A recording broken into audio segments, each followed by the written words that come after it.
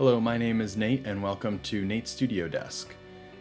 One of the biggest advantages to Revit and also ArchiCAD is the ability to share models in a shared team environment. Now in Rhino traditionally there's no specific plugin that allows you to share collaboratively in a team. Uh, you basically need to work on separate files and you can't sync and have, let's say, five people working on one project at a time. There is a way around this in Rhino and I want to show you one method on how to potentially collaborate with a team of multiple people on one project. Have this design as a separate block instance. And so what you could do if you were working in a collaborative environment, for instance, if you were working on this building or on this master plan, is you can work with blocks. So we can come in here and type in block manager. Takes a second and this panel will come up and this will this has all my blocks and to update it it's basically just linking to a separate file and so I can come here and type update and then it will update the scheme and so this would be the equivalent to pressing sync on Revit, except that you know people in this scenario people do have to be working on separate pieces. Um, so it's not ideal but uh, it could be a workaround. Uh, so let's see how this works. So come in here. This is a separate file. So we could have uh, Bob or whoever I don't know uh, is working on this file. We move this over and uh, then save it. File, save. And then we come over here and then I would go to block manager.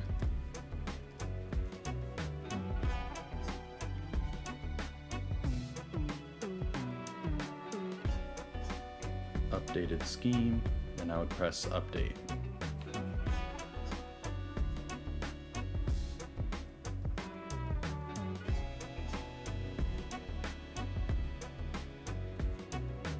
And you can see that that element moved.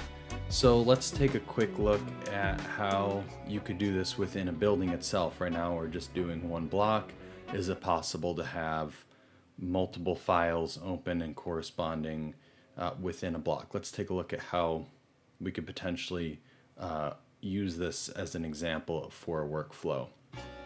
Okay, so here's our building and this is how it would work in potentially in teamwork we would maybe have one person develop these two spaces appear right now they're just pretty much they're just uh, rough outlining of what that that space would be.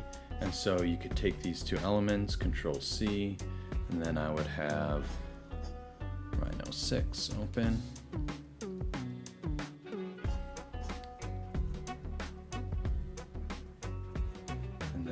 just go in here.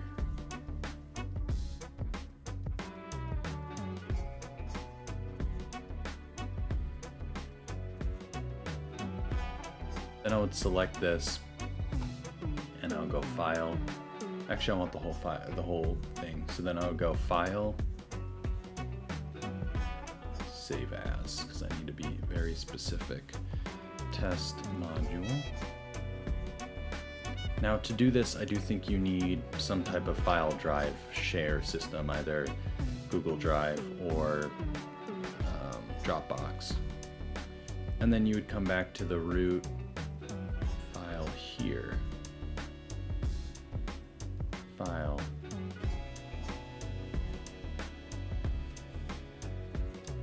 Then we go File, Insert,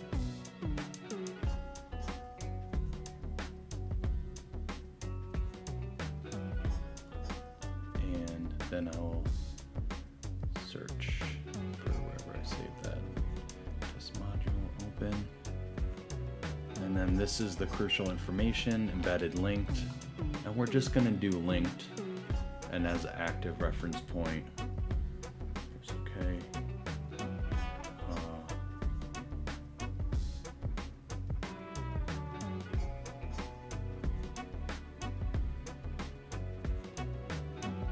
place these. And so then what you could do is your teammate could be continuously working on and developing this and then going back and, and always checking uh, when this is being updated. And so, you know, even, you know, let's say one person, you have one file that's the, the, the, the basic structure, uh, and you can be updating and moving that block around as needed. Uh, and have different elements that different parts of the team are working on in these different files. So let's see how this works again. So let's say, say oh, this is like not on the right edge. Uh, we need to bring this over. And, oh yeah, we need a door, by the way. Uh, that didn't work. Okay, let's just move those over. And then we'll go File, Save. Say, oh, oh hey, it's time to sync. Come over to here person would press block manager. And then you have your block manager here, test module, and then update. And you can always say prompt or always update. And for right now, I've always had to manually update it, and it could be that you can always up, it will just automatically update when it saves. And so this is one workaround for working in something that's somewhat similar to a live collaboration teamwork in Revit. It's not a perfect system, and as of right now, there's not a specific Rhino plugin to accomplish this. Uh, but I think working with blocks, and especially blocks within blocks, um, so for instance, now this is one block and then we could bring it back into our our main system here. And let's see now I would have to go to block manager.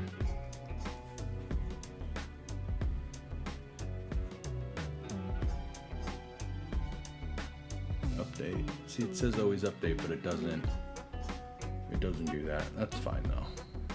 It's not that big of a deal. just I think there would be, you know, you could probably pretty easily just put the block manager in one of there and then you're just having to click and then it it shows up there.